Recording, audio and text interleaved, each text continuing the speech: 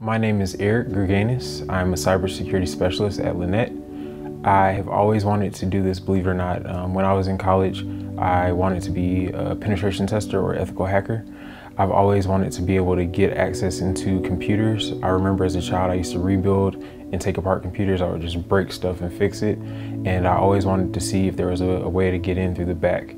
Um, currently, um, I attend conferences like DC 404. Um, even when I was in college, I was attending these conferences and I use the tools that I, I, learned to use when I was going to these conferences, such as Kali Linux, such as Nmap, um, Metasploit, um, any type of tool that hackers use. I'm experimenting with it, I'm playing with it almost on a daily basis to see and make sure that you are protected.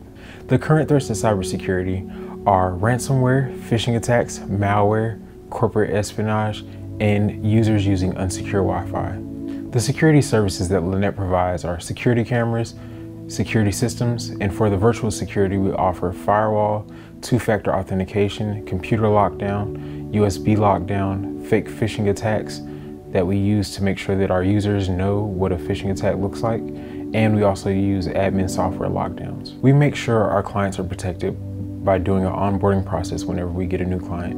We do a risk assessment, which includes making sure that the backups are secure. We make sure that packets are filtered that come on the network. We also make sure that hard drives are encrypted just in case computers or devices are stolen. Um, in that case, we do have tools that can terminate the computer or terminate the device. Another way that we make sure that our clients are protected is we manage their antivirus.